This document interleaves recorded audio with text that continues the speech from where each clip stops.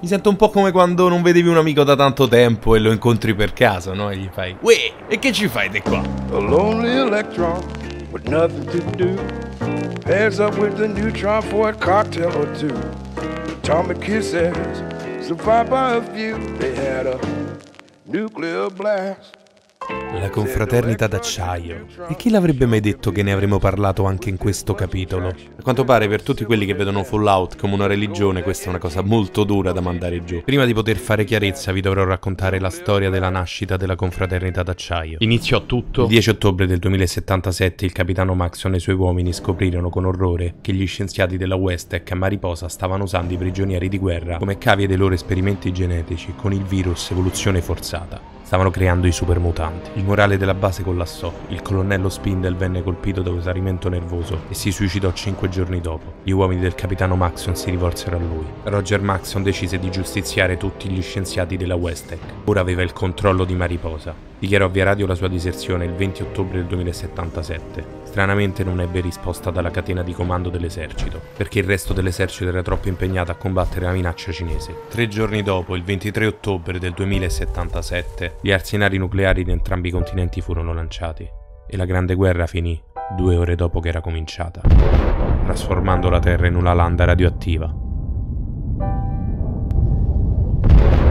Salvarono grazie agli altamente efficaci protocolli di protezione della base di Mariposa.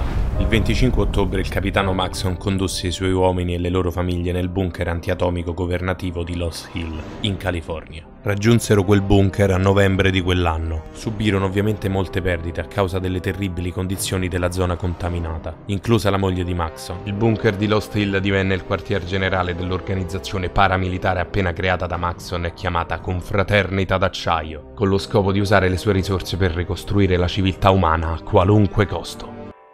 Pah, che figata ragazzi. E da qui poi si sono triggerati veramente tutti perché a quanto pare sarebbero dovuti rimanere 50 anni dentro questo volto. Invece come sapete ora sono su Fallout 76 che è ambientato nel 2102 e invece sarebbero dovuti uscire nel 2134 secondo tutti. Infatti ci staranno tutti youtuber no? Tutti arrabbiatissimi a fare espressioni mh, triggerate. La cosa che dovete sapere, ma non voglio leggermi a super esperto di lore perché neanche lo sono troppo. Ma quello che sappiamo dal 2077 al 2134 è niente, sappiamo che sono stati nel bunker in teoria, cioè sappiamo che da un certo punto si iniziano ad avere notizie di loro fuori, ma non possiamo sapere se un piccolo gruppo sia partito, magari per una telefonata dice Pronto? Ciao, ciao sì, mm, eh, Roger Maxon? Eh, abbiamo un problema qui, ci sono dei pipistrelli giganti che ci fottono le mucche. Mucche a due teste, sì. Venite a darci una mano. Tecnicamente è andata pressappoco così, questa è la spiegazione che ci dà Bethesda, che ci dice che grazie a un satellite sono riusciti a mettersi in contatto con um, il bunker di Lost Hill dove è Roger Maxon con la confraternita d'acciaio creata da pochi anni, da una trentina in teoria noi da Fallout 1 quando li incontravamo loro non erano abbastanza amichevoli e sembrerebbe che non, non abbiano avuto contatto con altre persone da molti anni, però non è, non è certo, non è che è scritto. Da, da, quell'idea che non siano usciti da allora, ma non è detto se un piccolo plutone sia stato mandato in ava scoperta verso proprio gli Appalachi, perché a quanto pare sono stati contattati tramite un satellite.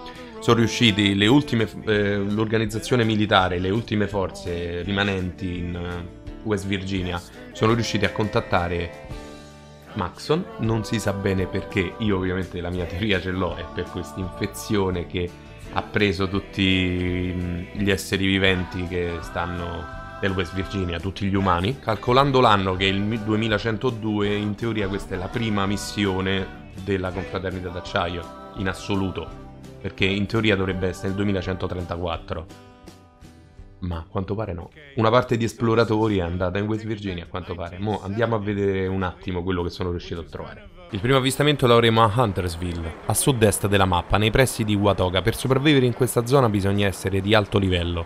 Per fortuna ce li segnala come alleati, perché avere la confraternita d'acciaio come nemica non è una cosa molto piacevole. Per quel poco che ne sappiamo adesso sembrerebbe che avremo contatto con la confraternita d'acciaio soltanto attraverso i Vertibird. Come vedete, a quanto pare sono loro a rilasciare gli approvvigionamenti governativi. Se non state capendo e non sapete di che cosa io stai parlando, significa che non seguite bene i miei video, quindi andateveli a vedere, sono linkati in descrizione. La città città che stiamo avvistando da questo altopiano fighissimo è Watoga. Tra poco la riconoscerete perché l'avete vista nel trailer con il vertibird precipitato. Qui probabilmente avremo la possibilità di trovare qualche indizio come olonastri o magari partirà proprio una missione e magari scopriremo il perché si sono recati qui in West Virginia. Per adesso è ancora un mistero anche per me e quindi si aggiunge alla lista delle prime cose che faremo quando inizieremo questa avventura. Certo che visto che sono riusciti a integrare la confraternita d'acciaio in questo modo, potrebbero integrare a questo punto anche l'enclave, perché no? Per quanto ne sappiamo noi, anche l'enclave è rimasto isolato su una piattaforma blindata al centro dell'oceano. E chi lo sa se un piccolo gruppo sia nascosto in qualche bunker qui in West Virginia. Ricordo con molta nostalgia i bei tempi quando veniva annunciato un gioco e nessuno si metteva lì con i libri di storia. Ah, vediamo se hanno sbagliato qualcosa. Ma che te frega? Cioè, ma manco se un, davvero un libro di scuola fa un errore di una data, non gliene frega un cacchio a nessuno. E poi dopo esce un gioco, c'è la gente malata, ragazzi. Siamo ossessivi compulsivi, siamo diventati proprio le ossessioni per la lore. Certi mi hanno scritto, io non ce la faccio a giocare sapendo che hanno fatto questi tremendi errori.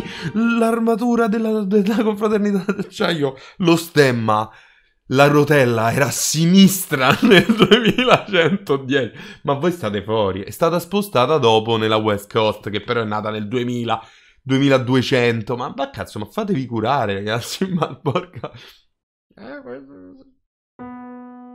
Eh, quelli erano bei tempi, vi ricordo, su Fallout 1 quando potevi scegliere, prendere delle decisioni. Quelli erano giochi, non come quelli di oggi. Fanno schifo. Che poi paradossalmente sono anche d'accordo, eh. Però basta, raga. Cioè io sono il primo ad apprezzare e amare la lore di Fallout, però ormai è arrivato quasi a un livello di fanatismo religioso.